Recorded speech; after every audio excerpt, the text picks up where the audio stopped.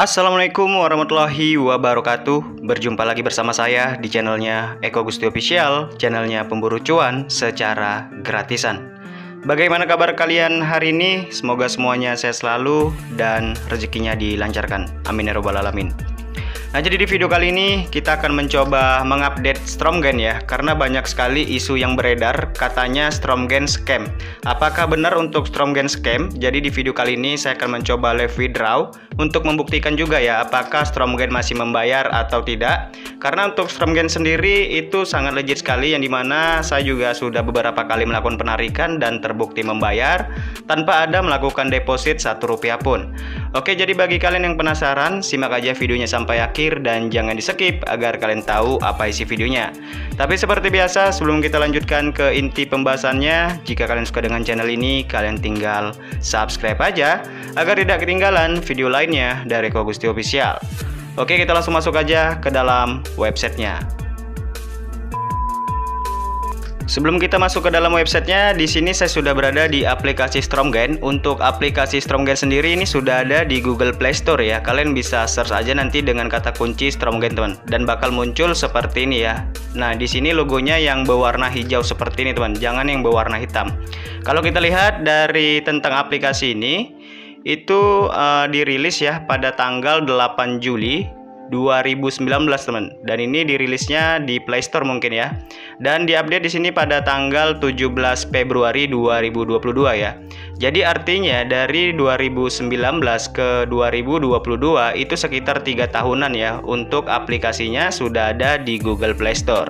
Dan di sini saya menggunakan websitenya kita langsung masuk aja ya Oke guys, di sini saya sudah berada di uh, Stromgen ya dan di sini saldo saya ada sekitar 4 LTC ya atau setara dengan 283,35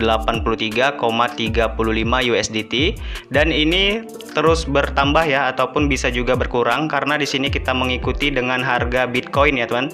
Jadi banyak juga yang bertanya, "Bang, Stromgen itu scam, Bang?"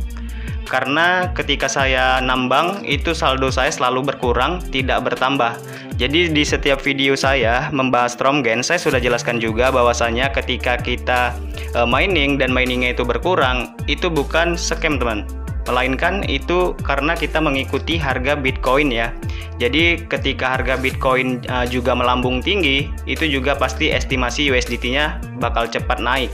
Begitu juga sebaliknya, ketika harga Bitcoinnya lagi turun, seperti sekarang ini ya, harga Bitcoin lagi turun sekali dan semua altcoin juga turun, teman. Nah, otomatis untuk estimasi USDT-nya juga menurun, teman. Di sini kalian bisa lihat dari total balance 12.762 satoshi Bitcoin itu hanya setara dengan 3,83 USDT, teman. Tetapi jika harga Bitcoin ini langsung terus menaik ya, uh, otomatis estimasi USDT-nya juga pasti bakal cepat naik. Kurang lebih seperti itu ya. Kenapa uh, saldo kita ketika mining itu selalu berkurang? Di sini sudah jelas ya teman. Dan kita langsung aja masuk ke bagian menu trading. Saya akan kasih tahu dulu untuk history uh, bahwasannya saya bertrading di Stromgen ini ya. Nah kita masuk ke bagian menu trades. Kemudian kita masuk ke bagian menu close-nya. Nah, di sini saya sudah beberapa kali trading dan ini tadi ada history terakhir saya untuk trading ya. Tadi saya uh, profit sekitar 1,3 LTC dan ini ada 0,13 LTC, 1 LTC, 0,03 LTC, 0,05 LTC dan 0,5 LTC ya. Nah, kenapa bisa LTC, Bang? Kenapa tidak USDT? Nah, jadi ketika kita menambang ya dari Stromgen ini itu memang menghasilkan USDT yang di mana USDT-nya itu kita tradingkan dan hasil profitnya dari trading itu bisa kita tarik. Tapi sebelum kalian tarik, lebih baik kalian exchange. Nah, kenapa di sini profit saya LTC? Jadi saya sudah exchange dari hasil profit saya menjadi LTC dan kemudian saldo saya hasil mining itu sudah habis. Jadi saya tradingnya menggunakan hasil saldo uh, profitnya karena tadi sudah berupa LTC. Makanya di sini LTC ya teman. Jadi kalian jangan salah paham. Nah kemudian di sini story saya juga sudah ada sekitar uh, satu LTC ya loss ya teman. Kalian bisa lihat juga saya mengalami loss satu LTC. Nah jadi seperti itu ya. Dan di sini kita langsung aja melakukan penarikan. Caranya klik aja di bagian menu wallet, kemudian kita klik di bagian LTC karena saya akan mencoba uh, penarikan LTC ya teman kita langsung klik aja di bagian withdrawal dan untuk lebih jelasnya mengenai Stromgain kalian bisa langsung cek aja ke bagian playlist di channel YouTube saya ini teman kita klik di bagian new request. Nah, kemudian di sini tinggal kita masukkan aja balance-nya berapa yang ingin kita tarik. Di sini saya akan coba tarik semua aja 4 LTC. 4,09513 ya. Oke, selanjutnya di sini untuk payment metodenya yaitu LTC ya. Selanjutnya di bagian ini kita masukkan atau kita tempelkan alamat ataupun address LTC kita. Untuk walletnya bebas teman. Jadi kalian bisa menggunakan Indodax, Trust Wallet, VoucherPay, Binance, toko kripto, Pintu dan sebagainya ya. Nah, di sini saya tempelkan alamat LTC saya yang dari rekeningku.com.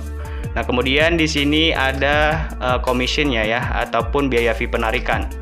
Jadi total bersihnya nanti yang masuk ke dalam wallet saya sekitar 4 uh, LTC, 0892 ya. Dan kita lanjut lagi di sini klik di bagian withdraw. Oke, kita masukkan dulu kode 2FA-nya. Bismillahirrahmanirrahim. Yap, di sini processing ya. Kita menunggu sekitar 30 detikan dulu, kita tunggu aja teman-teman.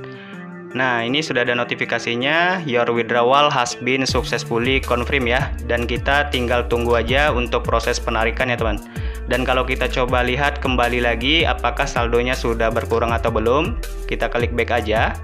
Nah, di sini kita klik di bagian walletnya lagi. Nah, di sini untuk saldo LTC saya sudah berkurang ya teman, sudah menjadi 0. Kalau kita lihat lagi di bagian historinya, Apakah ini sudah ada story? Nah, ternyata di sini sudah ada story-nya di tanggal 13 Mei 2022 payment operation 4,09513 LTC ya, teman. Ini setara mungkin sekitar 4 juta uh, rupiah ya karena untuk harga LTC sekarang sangat menurun juga yaitu sekitar 1 juta ya untuk harga per koinnya dan kemarin sempat di harga 800.000 atau 900 ribuan ya teman saya kurang tahu juga jadi di sini tinggal kita tunggu aja untuk proses penarikannya. Jika nanti sudah masuk ataupun tidak masuk akan saya lanjutkan videonya. Jadi jangan di skip ya.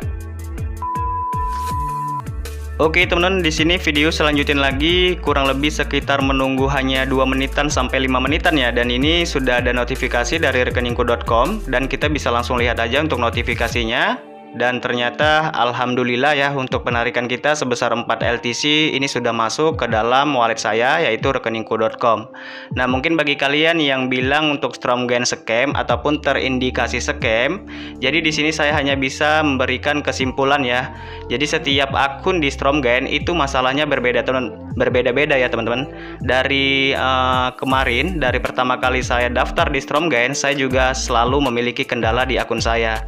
Nah, tepatnya itu waktu penarikan juga ya. Jadi ketika saya melakukan penarikan kemarin itu ya, itu disuruh verifikasi identitas yang di mana verifikasi identitasnya itu juga sangat sulit sekali ya teman. Kita harus melakukan deposit menggunakan uh, kredit ya, kartu kredit dan di sini saya tidak mempunyai kartu kredit jadi saya tidak verifikasi akun saya. Dan ketika saya ingin melakukan penarikan kembali ternyata bisa. Setelah saya menunggu ataupun saya diamkan akun saya sekitar satu bulanan ya. Uh, dari yang minta verifikasi itu saya tidak melakukan penarikan selama satu bulan dan saya tidak apa-apain untuk akun saya.